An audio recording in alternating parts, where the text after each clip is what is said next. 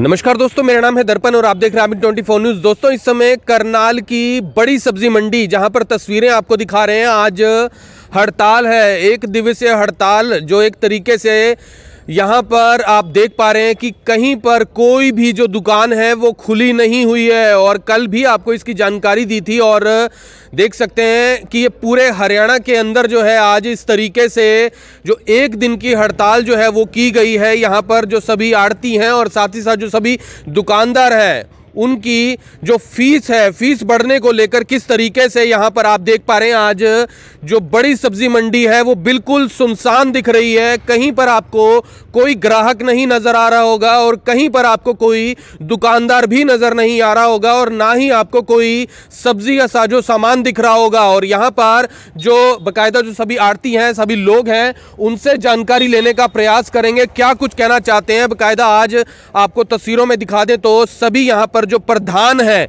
वो यहाँ बैठे हुए हैं यूनियन के और अपनी मांगों को लेकर जो है किस तरीके से यहाँ पर वो बातचीत करते हैं उनसे जानकारी लेने का प्रयास करेंगे। प्लीज़ वीडियो को ज़्यादा से ज़्यादा शेयर ज़रूर करें और फ़िलहाल देख सकते हैं कि किस तरीके से फैसला देगी।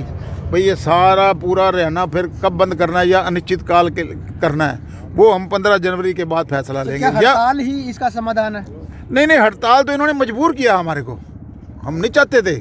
हम गवर्नमेंट के खिलाफ नहीं हैं गवर्नमेंट से नाराज़ हैं। अब नाराज़गी और खिलाफत आप समझते ही क्या हो। क्या कुछ बताना चाहेंगे? क्या आपकी परेशानी है? कौन सी फ़ीस है और जिसको लेकर आप हड़ताल पर मैंने अभी बता दिया इनको दोबारा फिर बताता हूँ। बाकी हमारे भाई साहब से पूछो। बड़े भाई साहब जरा एक बार इनसे भी पूछ लो। मैंने तो बता जी जी सर बताइए। ऐसा था जनाब कि हमारे पास हरियाणा गवर्नमेंट ने हुडा सरकार कांग्रेस सरकार ने 2013 से मार्केट फ़ीस ख़त्म कर दी थी।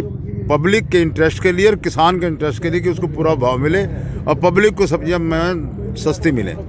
तो 2013 से लेकर 20 तक हमारे पास वो कोई टैक्स नहीं था। 2020 में कोरोना काल में हमारे को ये ताजी सरकार ने ये कहा था कि हम आपके ऊपर दो परसेंट फ़ीस फिर लागू करेंगे। कम से कम आप कोरोना काल में आपको आपको योगदान चाहिए। तो हमने उनकी सहमति दे दी। मगर उनसे ये गारंटी ले ली गई कि आप दो साल कोरोना काल के पास जो भी टाइम होगा हमें वो वापस ले लिया जाएगा। अब दो साल बीत गए, कोरोना काल ख़त्म हो गया। हमने सरकार के हर एक अंग हर एक मिनिस्टर, सीएम से तीन दफ़ा दुष्यंत चौटाला से लेके एग्रीकल्चर मिनिस्टर से लेके सब सब सब मार्केटिंग बोर्ड से चीफ से, सबसे मिले। सबसे रिक्वेस्ट करी कि आप अपने वायदे पे आइए। दो साल हमारी पूरी हरियाणा संगठन यूनियन जाती रही। आखिरकार सरकार ने हमारी मांग मान ली और विधानसभा में प्रस्ताव पास कर दिया कि ये जो है ना, एक मुश्त फ़ीस आम फ़ीस ख़त्म कर रहे हैं। बजट सेशन में मतलब पास हो गया प्रस्ताव। पास होने के बाद आज तक लागू नहीं होया। लागू नहीं होया उसको हटाने के लिए हम दो साल से संघर्ष कर रहे थे।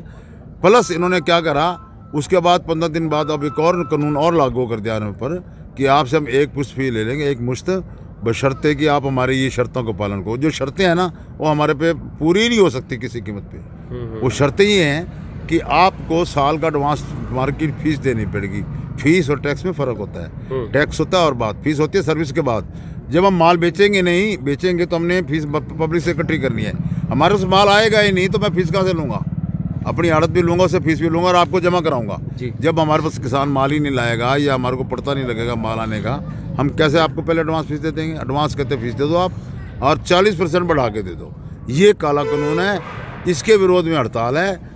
फ़ीस के तो हम संघर्ष करते रहेंगे करेंगे। अगर इसको सरकार ने हमारे आश्वासन दिया है कि आपका दो दिन में समाधान करेंगे या तीन दिन में करें। अगर समाधान हो जाता है ठीक नहीं होता तो हरियाणा लेवल के वो जो सत्र पे जो मीटिंग में फैसला लिया जाएगा आगे शायद वो अनिश्चित काल के लिए हड़ताल का फैसला ये पूरे हरियाणा में है ये पूरे हरियाणा की एक छोटी से लेकर बड़ी मंडी। है आप यहाँ के सोनीपत अम्बाला करनाल पानीपत गरौंडा रोहतक गुहाना भवानी कोई ऐसा स्टेशन नहीं है जिसे हड़ताल ना हुई है, उन्होंने तो लंगर लगा रखे हैं, धरने लगा रखे हैं। हमने तो सिर्फ़ साधारण कर रखा है वो तो पूरी तरह से डेडिकेटेड है इस जुल्म के खिलाफ। एडवांस तो, फ़ीस और टैक्स को लेकर आज हड़ताल। हाँ एडवांस फिक्स तो अभी आप इस बारे में कोई दोबारा बातचीत हो रही है अभी सरकार से इस बारे में सरकार ने दो दिन दो तीन दिन का वायदा करा है तीन दिन में हमारे को सीएम के पास बुलाया जाएगा।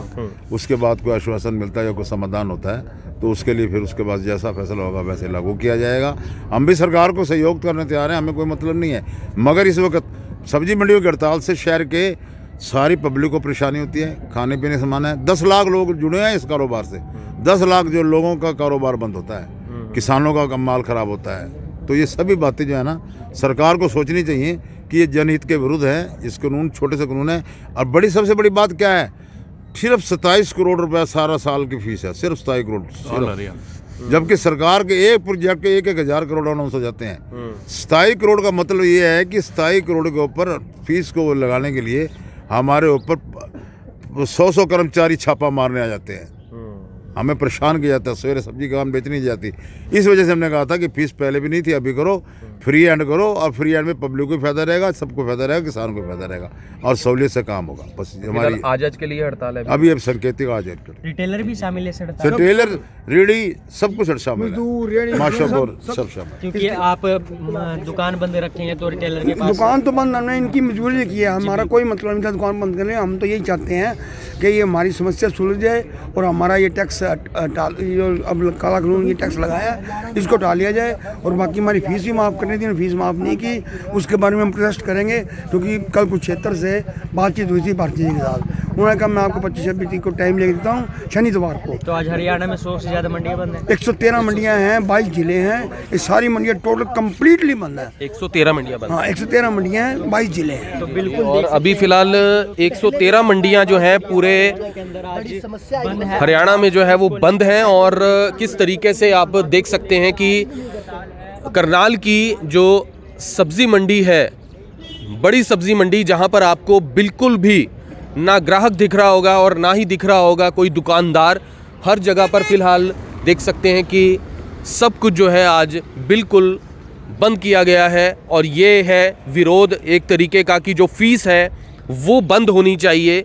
बताया जाता है कोरोना काल के अंदर जिस तरीके से उन्होंने बताया कि इसकी शुरुआत की गई थी, पहले उन पर फ़ीस लागू नहीं थी, लेकिन अब किस तरीके से यहाँ पर जो करनाल की जो सब्ज़ी मंडी है वो किस तरीके से बड़ी सब्ज़ी मंडी बंद है और पूरा हरियाणा भर के अंदर जो है आज सब्ज़ी जो है वो नहीं मिलेगी। तो आप ही से निवेदन करना चाहेंगे, वीडियो को ज़्यादा से ज़्यादा शेयर ज़रूर करें। अभी फ़िलहाल इतना ज़रूर कहा गया कि ये एक दिवसीय ही जो हड़ताल है और ये आगामी समय के अंदर बढ़ सकती है, अगर उनकी मांगे नहीं मानी गई। तो आप सभी से निवेदन है, वीडियो को ज़्यादा से ज़्यादा शेयर ज़रूर करें। फिर से जुड़ेंगे अभी ट्वेंटी के ऊपर। तब तक के लिए जय अब यहाँ तक आ ही गए हैं। तो हमारे चैनल को सब्सक्राइब ज़रूर करें और नीचे दिए गए बेल आइकन को ज़रूर दबाएँ ताकि हर खबर सबसे पहले पहुँचे आप तक।